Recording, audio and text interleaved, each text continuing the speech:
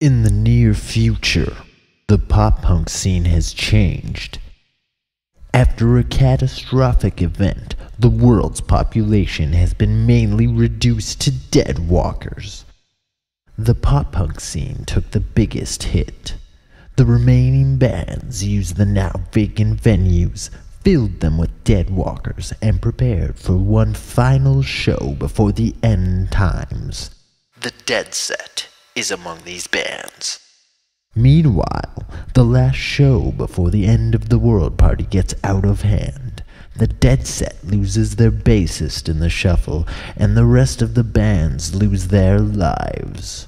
Now, hiding out, the Deadset prepare for the end of the world party and prepare for the battle ahead.